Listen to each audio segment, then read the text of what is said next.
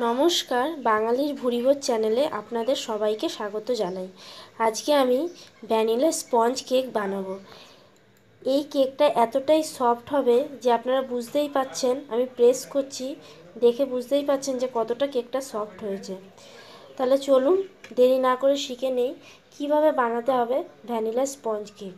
আর এই কেক বানানোর জন্য সবচেয়ে মেন যেটা জিনিস, আপনার ইনগ্রিডিয়েন্টসগুলো একদম মেপে মেপে নিতে হবে ঠিকঠাক মতো। তবেই আপনার কেকটা ভালো তৈরি হবে। তাহলে চলুন দেখে নিই কীভাবে বানাতে হবে vanilla sponge cake. Vanilla sponge cake বানানোর জন্য আমি এখানে হাফ কাপ ময়দা নিয়েছি, হাফ কাপ চিনি গুঁড়ো করে নিয়েছি, তিনটে ডিম নিয়েছি, ওয়ান টেবিল স্পুন কর্নফ্লাওয়ার নিয়েছি, সামান্য লবণ নিয়েছি one table spoon soybean oil নিয়েছি। এখানে নিয়েছি baking powder one four teaspoon baking powder নেব আর ভ্যানিলা এসেন্স আমি এখন প্রেশার কুকারটা প্রিহিট করতে দেব দশ মিনিটের জন্য।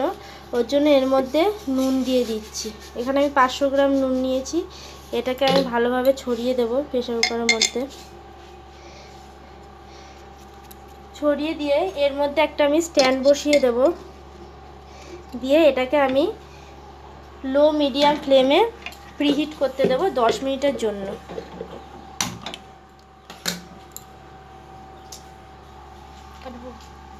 এখন আমি মোলটা রেডি করে নেব। এখানে আমি সিক্স ইঞ্চির একটা মোল্ড নিয়েছি।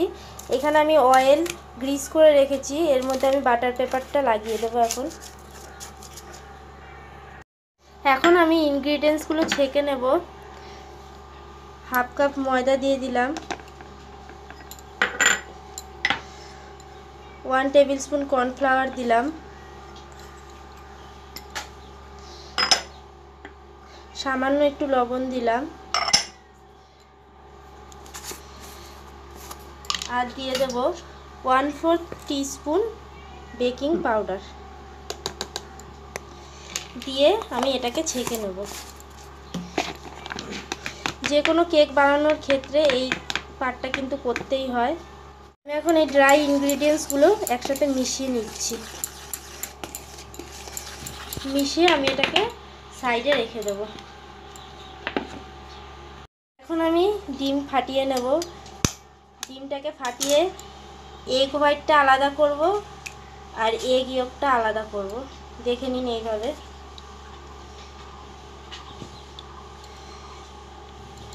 এইভাবে আলাদা করে রেখে দেব। এইভাবে আমি তিনটে ডিম ফাটিয়ে নেব। আমি ডিমের এগ হোয়াইটটা আর এগ ইয়কটা দুটো আলাদা করে নিয়েছি। এখন আমি এটাকে বিট করে নেব বিটার দিয়ে দু থেকে তিন মিনিটের জন্য।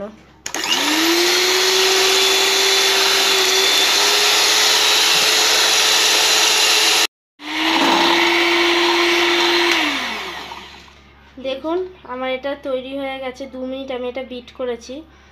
এরকম স্টিক পিক হয়ে গেছে একটা। এই স্টেপটা প্রপার করতে হবে, তাহলে আপনাদের কেক ভালো হবেই।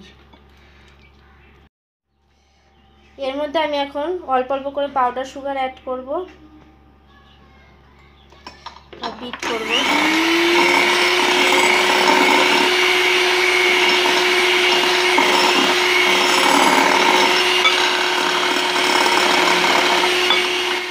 সুগারটা দিয়ে আমি বিট করে ভালো করে মিশিয়ে নিয়েছি। এখন আমি এগ ইয়কটা অল্প অল্প করে দেব আর বিট করব।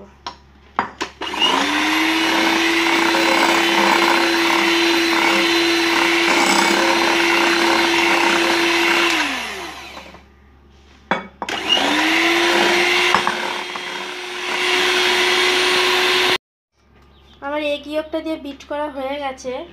এখন আমি ওয়ান টিএসপি ভ্যানিলা এসেন্স দিয়ে দিচ্ছি। ডিমের কেকে সবসময় ভ্যানিলা এসেন্সটা একটু বেশিই লাগে। দিয়ে আমি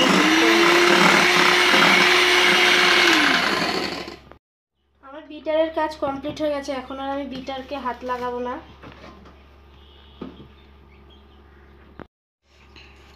এটা আমি অল্প অল্প করে মিক্স করে নিচ্ছি। এটা বেশি নাড়বেন না, হালকাভাবে নাড়বেন। কারণ এটা বেশি নাড়লে ঝাঁকটা বসে যাবে। আর ঝাঁকটা যদি বসে যায়, তাহলে কিন্তু কেকটা প্রপার হয় না। হালকাভাবে স্প্যাচুলা দিয়ে নেড়ে কাট অ্যান্ড ফোল্ড করে রেখে দেবেন এটাকে। আমার এটা মিক্স করা হয়ে গেছে। কেকের ব্যাটার বানিয়ে ওয়েট করার কোনো প্রশ্নই হয় না। এখানে এখন ব্যাটারটা ঢেলে দেব।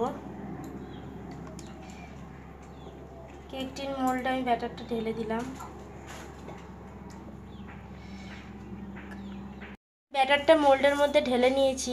ঢেলে নিয়ে এটাকে চারদিক থেকে সমান করে দিলাম। সমান করে এটাকে একটু ট্যাপ করে নিলাম।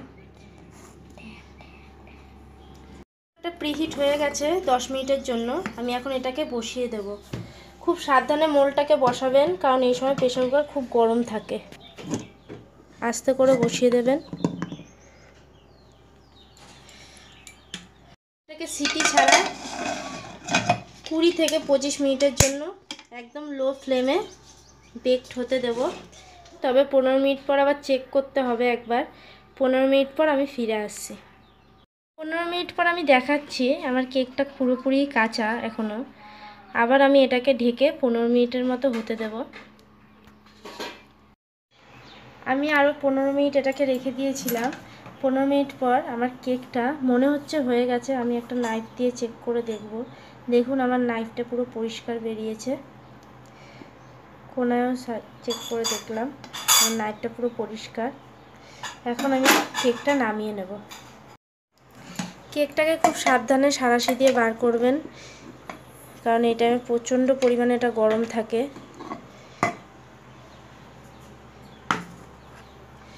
কেকটা আমার হয়ে গেছে। কেকটাকে আমি পুরো ঠান্ডা করব, তারপরে এটাকে মোল্ড থেকে বার করব। গরম অবস্থায় কেক যদি মোল্ড থেকে বার করা হয়, তাহলে কিন্তু কেকটা ভেঙে যাওয়ার চান্স থাকে। সুতরাং কেকটা ঠান্ডা হলে তারপর আমি দেখাচ্ছি কেকটা কেমন হয়েছে। আমার কেকটা পুরোপুরি ঠান্ডা হয়ে গেছে। এটাকে এখন আমি ডিমোল্ড করে নেব। চার পাঁচটা খালি একটু চাকু দিয়ে কেটে নিচ্ছি। কেটে আমি কেকটাকে এখন ডিমোল্ড করে নেব।